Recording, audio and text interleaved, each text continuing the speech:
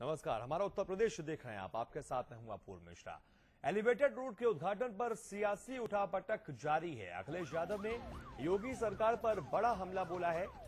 हमारे काम का उद्घाटन कर रहे हैं सीएम योगी आदित्यनाथ। ये कहते हुए निशाना साधा है।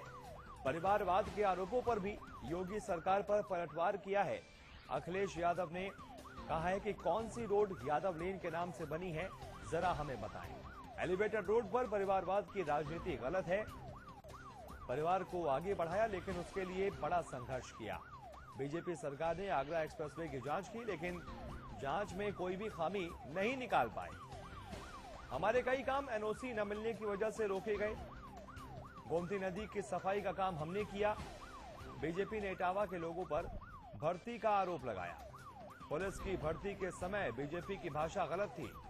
बेरोजगारों की फौज लगातार योगी सरकार में बढ़ती जा रही है।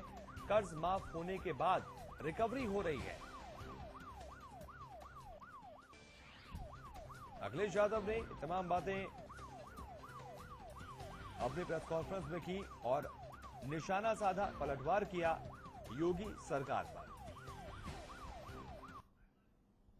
इसलिए मुख्यमंत्री जी जहाँ जाते हैं, परिवारवाद, जातिवाद और मैंने हमेशा कहा, सबसे ज़्यादा जातिवादी पार्टी अगर कोई है तो वो भारतीय जनता पार्टी है।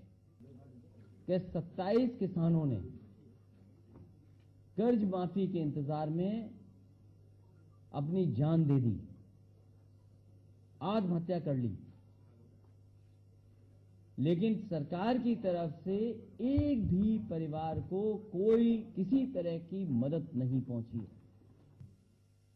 अखबारों में भी छपा। देश की सबसे बड़ी एलिवेटेड रोड है। और स्टेटमेंट क्या दे रहे हैं कि पहले परिवारवाद था, जातिवाद था। मैं उनसे पूछना चाहता हूँ, जिस एलिवेटेड को उद्घाटन करके आए हैं, उसमें यादव लेन कौन सी है, ये मुझे बता दें आप। देश का सबसे बड़ा एलिवेटेड और शर्म नहीं आ रही। जातिवाद और परिवारवाद का आरोप लगाना एलिवेटेड रोड पर